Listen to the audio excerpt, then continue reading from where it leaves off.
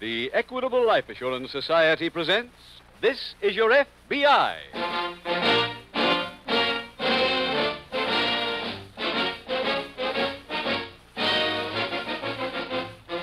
This is Your FBI, the official broadcast from the files of the Federal Bureau of Investigation.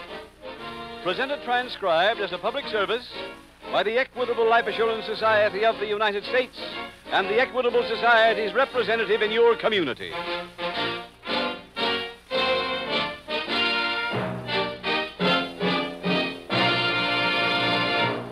First, a brief word to you fathers and mothers who want to give your children every opportunity you can possibly provide to help them get ahead. Did you know that you can plan now, years ahead, to send your boy or girl through college, no matter what may happen to you? This plan is called the Equitable Education Fund, the painless way to pay for your boy or girl's college education. In about 12 minutes, I'll give you the full details on this Equitable Education Fund. Be sure to listen carefully to this message from the Equitable Life Assurance Society.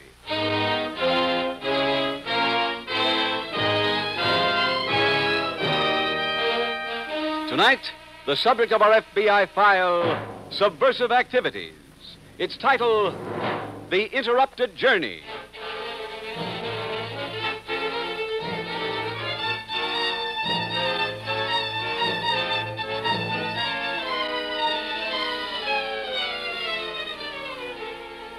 The Communist Party in the United States has issued a blueprint to certain high ranking members. This blueprint describes the organization of Communist Party revolutionary activities in this country. One sentence in that document reads, and I quote Every communist must know that the party has a historical mission to fulfill the establishment of the New World, a Soviet America. End quote. We thus have a clear statement of purpose on the part of those whose efforts are dedicated to the destruction of the American way of life. The goal of communism is total enslavement, and its program is directed against the nation in its entirety, against every one of you.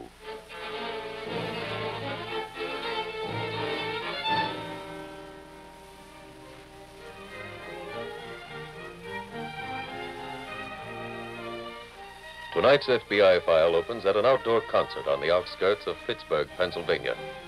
In a back row, a woman sits listening so attentively that she does not notice a man take the seat beside her. Emily. Emily. Huh? Oh, hello, Lloyd. Sorry to start again. Please. Uh, the music will have to wait. I can't. Got an appointment in town. I have a job for you. Oh, what is it? Contact Panola When? tomorrow. Tell him to print you a set of identification cards. All right. Which ones? Social Security, driver's license, gasoline credit slip, and an engineer's union card. Have them made out in the name of William R. Young. Who's he? It's the name a friend of ours will adopt. Oh, He's coming to this country within the next month, so tell Panola to rush the cards through. this Mr. Young must be pretty important. Yeah, very important.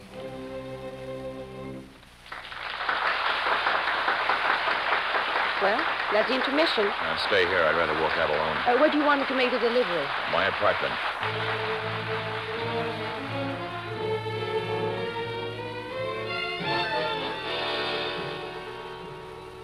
The following afternoon, at the Philadelphia field office of your FBI, Special Agent Taylor approaches the desk of Security Supervisor Paul Dawson. You sent for me, Mr. Dawson? Yes, Taylor, sit down. Thanks. We just got a report from the Pittsburgh office. One of their undercover men in the party is a printer named Panola. He was just told to print up identification papers for a William R. Young. Young. It's a fictitious name. Oh. Panola reported they were for somebody coming into the country within the next 30 days. Coming in here? He doesn't know which port will be used, but it'll be on the eastern coast, so every office along the Atlantic's been alerted. No, I see. We don't know who this visitor really is, what he looks like, or when he's coming. All Panola could say is that he's very important to the party. Well, can uh, Panola give us any more help? Yes, he's making a mistake in the name on one of the cards. Instead of R, he'll make the middle initial W. Mhm. That's about all he can do without putting himself on a spot. And who gets the cards? They're being picked up by a woman named Emily Gray. Pittsburgh checked on her and sent us this memo. She's never been identified with party activities before. Now, we don't know why Young's coming, but if they're being this careful, it's probably on a big job. Yeah, sounds that way. Four freighters from Russia or her satellites are due in here this week, Taylor. I want you and Johnson to cover their arrival. All right, sir. If you need any more men, let me know.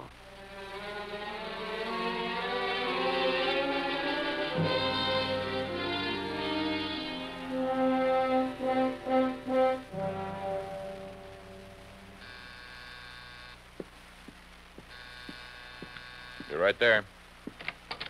Hello, Lloyd. Come in. Thank you. I've got the cards. All four of them? Yes, right here. Fine. Heard any more news? Uh, about what? Who the cards are for? No, but I found out why he's coming. He's an expert at factory production methods. Oh, why send him here? I tour all through the country and stop off at factories where we've got friends. Mm-hmm. Show him how to slow down production without making themselves look like saboteurs. Quite a job. Yeah. Uh, better take your car to the garage and have them check everything. Huh? We're going someplace? Uh, Philadelphia. That's where we deliver the cards. To whom? I don't know. When we get near Philadelphia, I have a number to call, though. When do we leave? Tomorrow morning.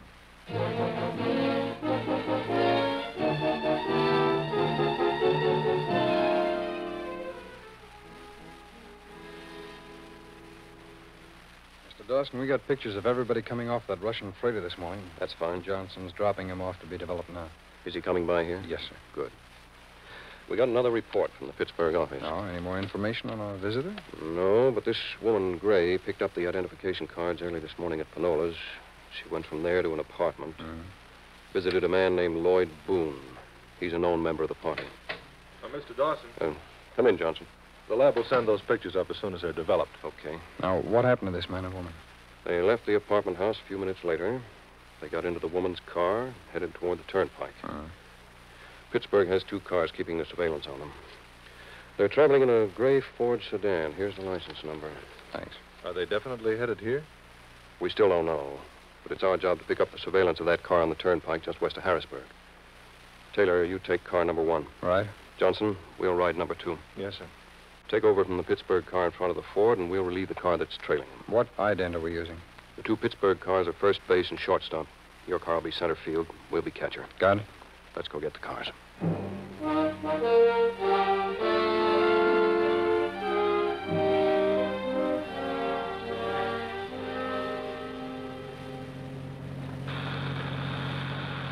Hello, center field. Where are you? On the baseline, 10 miles west of Harrisburg. Have you heard from shortstop? Yes, he was 30 miles out at 315. Is he in front of the Eagle? Was when I talked to him. I'll check and call you back. Right. Hello, shortstop. Center field. I'm 10 miles west of Harrisburg. Where are you? 12 miles west and about a mile in front of Eagle. I see a cut through. I'll make my turn and start heading east. I ought to be able to pick you up when you come up over that hill. I'll call you as soon as I do. Hello, catcher. I could hear your end, but shortstop didn't come in too clear. Where is he? He's about two miles west. I'll relieve him around where we pass that emergency gas station. Good. He's still in front of the Eagle, then. That's right. Wait a minute, I can see a car in my rearview mirror now, just coming up over the hill. Might be him. Establish contact again and call back after you take over. Hello, shortstop. I see you, center field. The Eagle is a half mile in back of me. Pace 55 miles an hour. They made any stops yet? None at all. That's the Eagle coming over the hill. Picking up the eagle. The Eagle is yours. Hello, catcher. Did you hear that? Yes, we got it all. When you hit Harrisburg, drop behind the Eagle and we'll pick up the front end. Right. I'll give you position and pace every mile till we make the switch.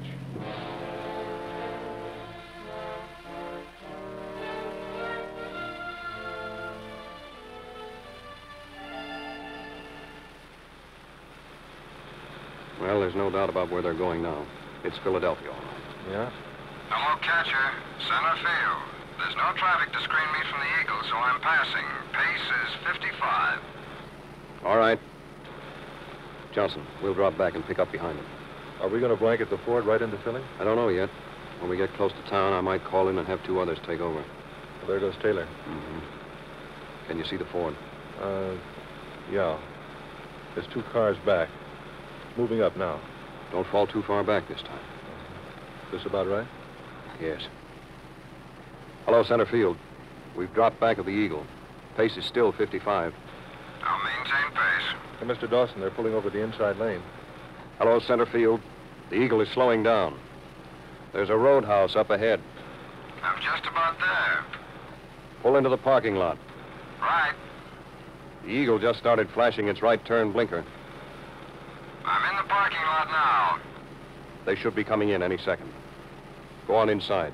Take your portable transmitter and keep in touch.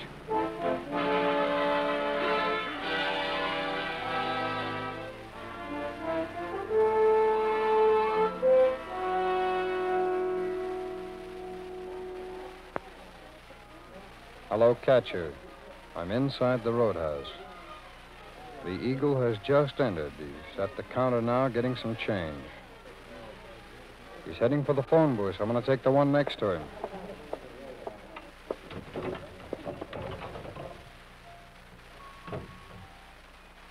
He's just coming into the next booth.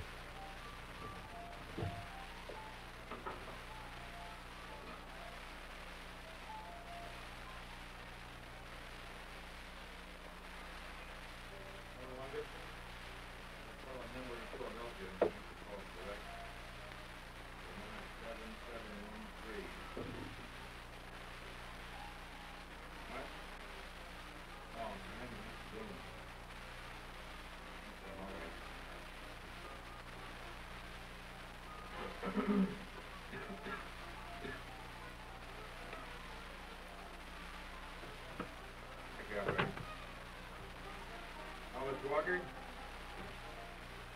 that merchandise you ordered. At a roadhouse about 50 miles from Philadelphia. When you close? Uh, we couldn't make it. Morning? Better give me the address.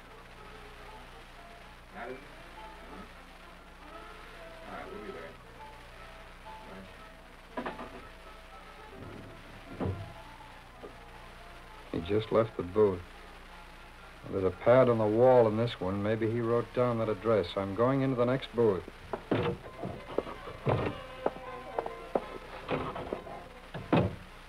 Yes, there's a pad in here, too. Uh, wait a minute. There are indentations on this top sheet. It might be the address for the party that he's meeting. Yes, I've got it. 193 Madison Street.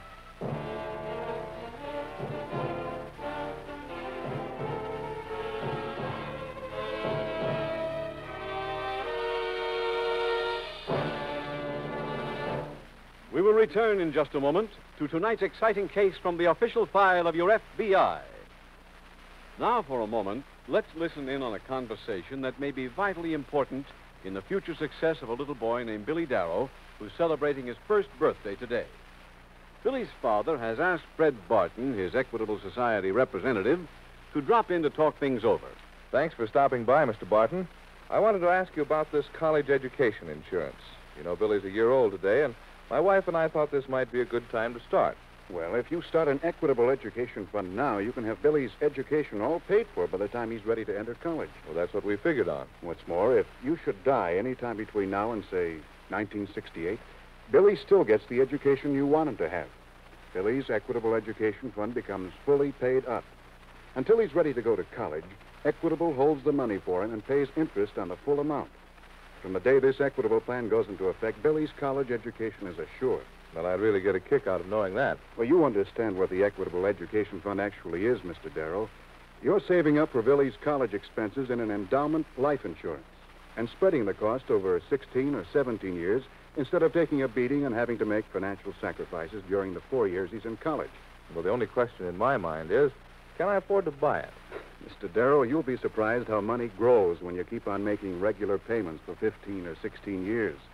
Another thing, by starting now when Billy is still so young, you can spread out your payments over more years and pay less in each individual year. Let's say you decide on a $4,000 equitable education fund. At your age, that would.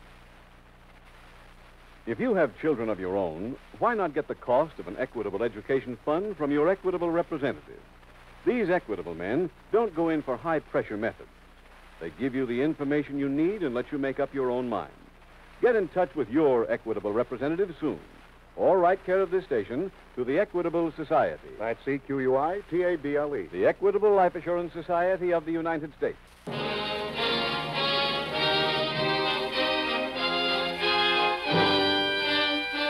And now back to the FBI file The Interrupted Journey.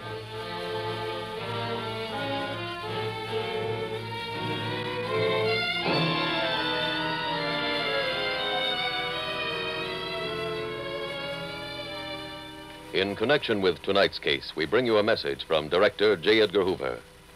Mr. Hoover says, and I quote Your FBI asks each of you to report all information you may possess which relates to espionage, sabotage, or subversive activities. However, the protection of the nation's internal security is a twofold responsibility. It must not only safeguard our secrets, but it must also guarantee the continuation of the civil liberties of every citizen. Please do not attempt to conduct your own investigation. Please do not engage in malicious gossip or idle rumor about any person's political activities. Vigilante action and witch hunts only contribute to hysteria. By making your information available to your FBI without attempts at evaluation or an effort to draw your own conclusions, you will not only be safeguarding the rights of the innocent, you will be making your own contribution to the nation's general security program. Remember, if you have any suspicions about espionage, sabotage, or subversive activity, do not investigate on your own. I repeat, do not investigate on your own. Please look at page one of your local directory and call the nearest field office of your FBI. We need no secret weapons to uproot communism in this country, nor any illegal activities on the part of our citizens. This constitutional republic has stood the test of time. If we all do our jobs calmly and sanely, it will continue to stand.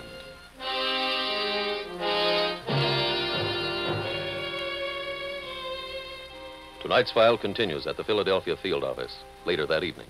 Mr. Dawson? Yes, Taylor. That address Lloyd Boone wrote down turned out to be a toy shop. The number he called is the shop's, and the place is owned by the Mr. Walker that he spoke to. You checked on him? Yes, sir. Um, he's 53 years old, born in Cleveland, came to Philadelphia as a child with his parents. He's owned the toy shop for five years. He has a bad credit rating, suspected of belonging to the party since 1941. I see. Johnson reported in on Boone and Emily Gray. They checked into the Hotel Century. They met for dinner a few minutes ago in the coffee shop. I'll send Hopkins over to relieve him. Oh, and I called the port authorities. They say two freighters are due in tomorrow from Satellite Nations. I'll have photographers at the pier. Miller and Reed can cover the first one. Hoffman and Riley can get pictures of the other crew. Mhm. I've got Adams keeping a surveillance on Walker. I can relieve Adams in the morning if you like. No, I've got another job for you. Oh? There'll be a truckload of empty barrels delivered to the garage at 7.30 a.m. Bore a peephole in one of the barrels. All right, sir. Take a walkie-talkie and a movie camera with you.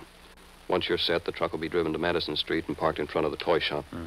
I want pictures of everyone going in or out of the shop.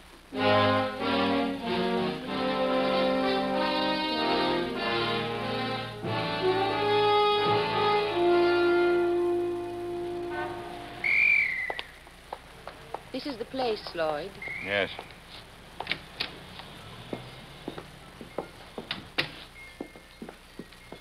Morning. Can I show you something? We'd like to see Mr. Walker. I'm Mr. Walker. Oh, Lloyd Boone. Oh, hello. How are you?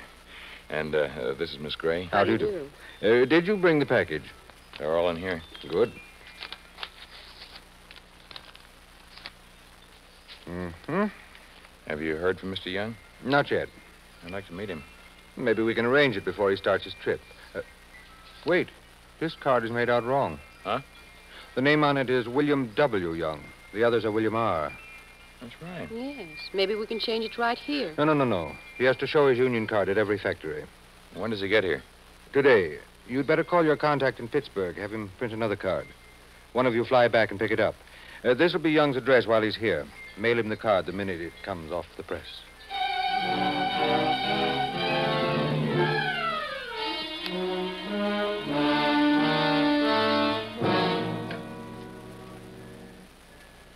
Center field calling catcher. Center field calling catcher. This is Catcher. I'm on my third roll of film. Has the Eagle reached the nest? Yes, he came early, stayed a few minutes, then flew away. Any other familiar birds? I didn't recognize any. We got complete sets of pictures of everybody off those two freighters.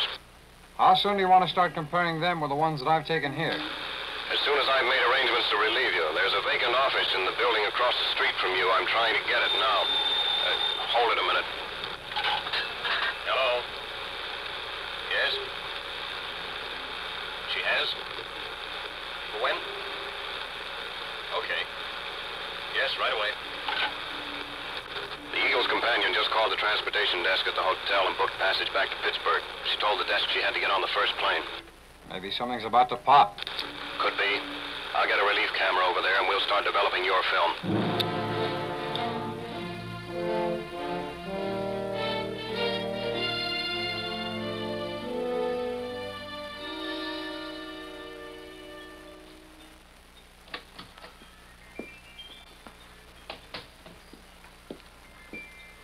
Good afternoon. Hello. Can I show you something? Yes, I'd like to buy a dollhouse for my little girl. Any special color? Uh, red. Hello. I'm Walker. I'm glad to meet you. How was your trip? Mm, not good, not bad. Have you got my papers? Everything but the Engineers Union card. They made a mistake on that one, so you'll have to wait while they print a duplicate. How long? A day or two. I'll come back for it. Uh, you don't have to. It'll be mailed to you at this address. You've got an apartment there. As William R. Young? Yes. Here are the cards that turned out right. And uh, here are the keys to the apartment. Thanks. You'll find clothes, money, and everything else you need. Uh, don't get in touch with me again unless there's trouble.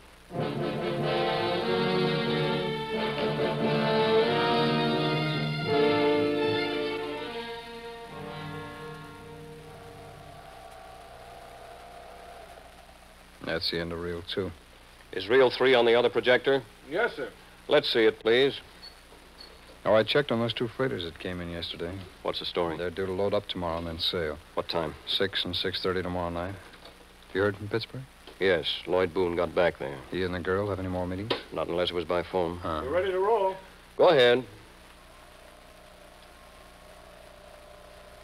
Now there, that's Walker approaching the entrance after lunch. Mm-hmm. Business was kind of slow. So I see. This couple here bought a boat. His face doesn't look familiar. Well, here's another shot of the couple coming out. Nobody entered or left the shop for the next 20 minutes. And I started the camera again as this man came Uh, stop the... the film. Go back to that frame with the man's full face toward the camera. Right. He looked familiar. No. Taylor, you take this pile of pictures. They're the crew of the freighter. All right. Is this the shot you meant? Yes. Uh, Let's see the stack here. I got it. Oh? This is him. He's off the freighter Bosporus. Taylor, you and Johnson find out who he is.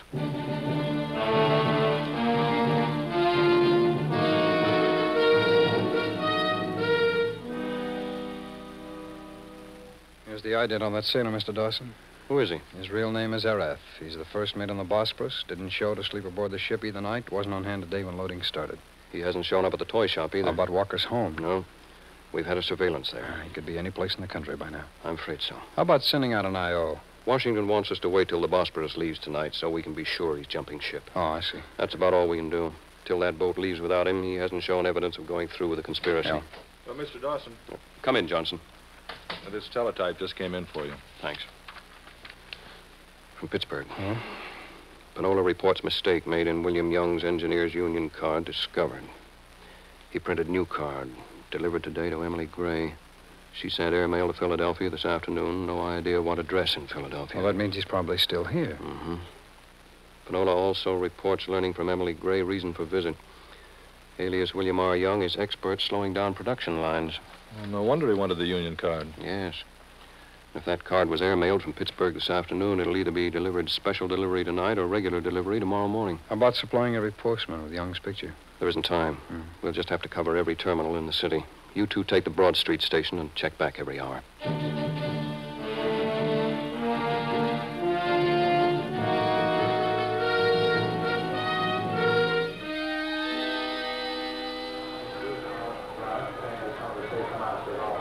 There's no word yet at the office on Young. Anything on Walker? No. When the shop closed, he went right home. The Bosporus held up sailing till an hour ago. They finally pulled out with Young absent. They held up sailing, huh? Surprised? Yeah, kind of. That must mean they didn't know Young was jumping ship. Well, what difference does that make? Oh, none really, but if they weren't told, it must mean this was a well guarded secret shared only by those in on the actual assignment. Hmm. It's just more proof this is a big job. Ah, there's another train that Young isn't catching. Uh huh. Wait a minute, Rudy. Look. Hey, that's him. Yep, he's running for that train. He might catch it. better make sure he doesn't. Wait a minute. No, you don't. What? I've, I've got a ticket for that train. We've got a warrant that'll keep you here.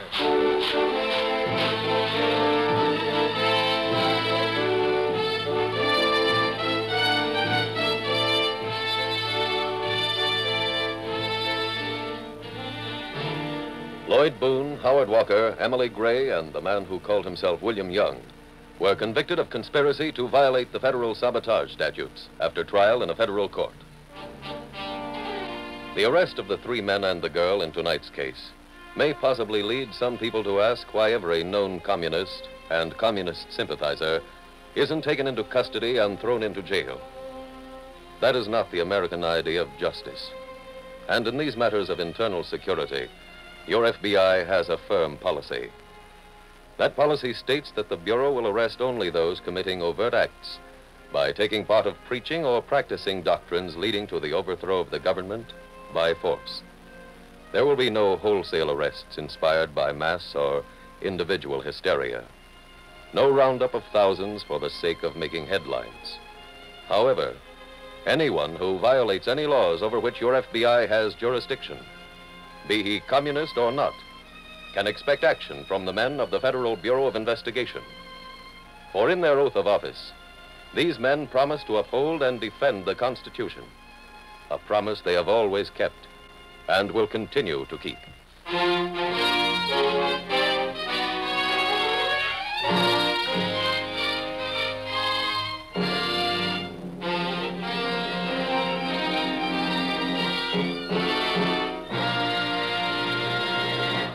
Now, a quick review of the advantages of an equitable education fund.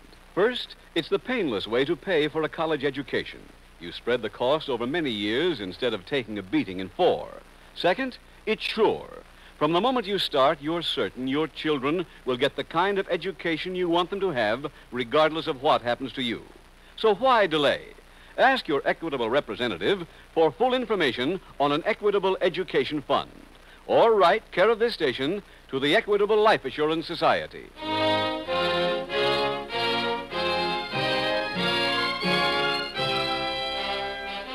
Next week, we will dramatize another case from the files of the Federal Bureau of Investigation.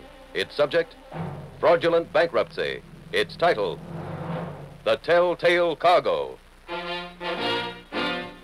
The incidents used in tonight's Equitable Life Assurance Society's broadcast are adapted from the files of the Federal Bureau of Investigation. However, all names used are fictitious, and any similarity thereof to the names of places or persons, living or dead, is accidental. Tonight, the music was composed and conducted by Frederick Steiner. The author was Jerry D. Lewis. Your narrator was William Woodson, and Special Agent Taylor was played by Stacy Harris. Others in the cast were Harry Carey Jr., Gladys Holland, Lamont Johnson, Charles Maxwell, Bill Mims, Ted Osborne, and Les Tremayne. This is Your FBI is a Jerry Devine production. This is Larry Keating speaking for the Equitable Life Assurance Society of the United States and the Equitable Society's representative in your community, and inviting you to tune in again next week at this same time when the Equitable Life Assurance Society will bring you another thrilling transcribed story from the files of the Federal Bureau of Investigation. The Telltale Cargo on This Is Your FBI. Stay tuned for A Life in Your Hands starring Lee Bowman, which follows immediately. America is sold on ABC, the American Broadcasting Company.